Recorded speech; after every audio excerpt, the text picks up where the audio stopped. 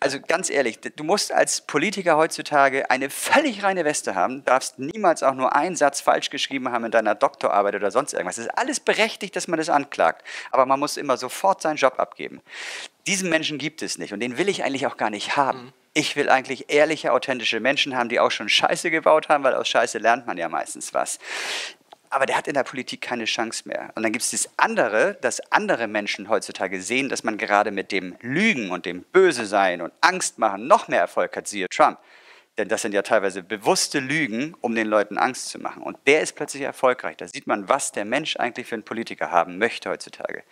Ich hätte liebend gerne einen einen, ich würde einen Bürgermeister in Hamburg wählen, den ich vertraue, der sagt, Mensch, ich habe früher gekifft, ich bin, mhm. äh, habe äh, 47 Punkte in Flensburg gemacht und scheiße, ich habe mich auch schon mal ins Auto gesetzt äh, mit 0,5 Promille, weil ich einen über den Durst getrunken hatte und einen Termin hatte und nach Hause musste und äh, bei meiner Abi-Klausur habe ich es übrigens abgeschrieben und, aber ich bin ein geiler Typ ja. und ich sage dir, du kannst mir vertrauen und ich weiß, was gut ist für diese Stadt. Den würde ich wählen. Aber ich glaube, ich bin einer der wenigen. Da stimme ich dir total zu. Das zweite Problem ist, und jetzt äh, weiß ich, was gut für die Stadt ist, da setze ich mal ein.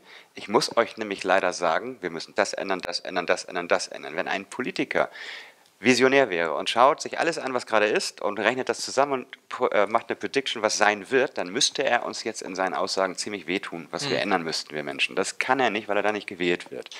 Da ist das Hauptproblem. Es müsste wehtun und dann trotzdem gewählt werden. Dann würde sich was verändern. Und da glaube ich momentan nicht dran.